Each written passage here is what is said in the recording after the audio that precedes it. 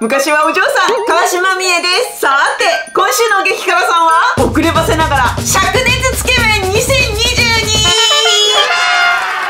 先週ショートで黄金灼熱つけ麺を食べたんですけど、今日は灼熱つけ麺極限を食べますウーバーイーツで頼みました。まだかな来た激辛みえチャンネル器は入れ替えてみました。うまそう。いただきます。から魚粉混ぜるか。麺いただきます。ほう。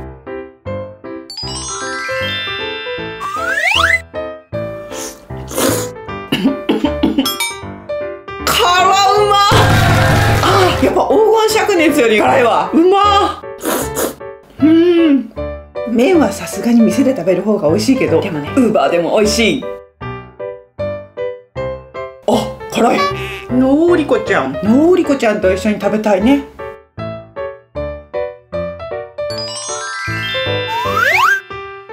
海苔うま三田製麺所のスープと海苔がめちゃくちゃ合うんだよね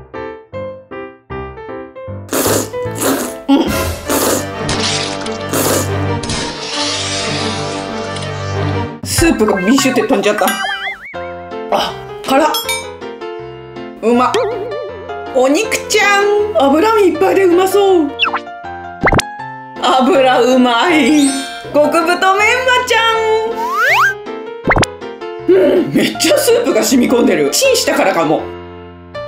海苔トッピングしちゃおっかな。うちにある海苔を追加。海苔うまっのりこちゃん最高。辛っ。でもうまっ。だんだん口の中辛くなってきた。お店で食べるとスープ結構残るのに。ウーバーするとなぜかあんまり残らない。見て見て。麺食べ終わってスープこのぐらいなの。少ないよね。ごちそうさまでした。激辛みえチャンネル。灼熱つけ麺2022極限みえちゃん的辛いよレベルは7える辛さです。まあベースが美味しいからね。予想通りなんだけど黄金灼熱よりも灼熱極限の方が辛かったです。お味的にもね私は灼熱極限の方が好きです。まあ黄金も美味しいんだけどね。お店で食べる方が美味しいけどウーバーでも満足の美味しさでした。スープをチンしたのは大正解だったな。あと家だと海苔がいくらでも足せるのがいいよ。今年の灼熱は8月まで。まだの方はぜひもうの方もぜひ私もまた食べるよ。